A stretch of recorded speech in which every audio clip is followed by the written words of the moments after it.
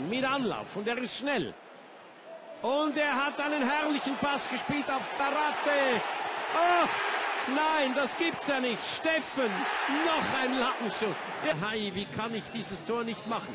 Steffen, wunderbar. Zarate, dann äh, gute Abwehr von Mal, Zarate an den Pfosten und dann ist alles klar, denkst du?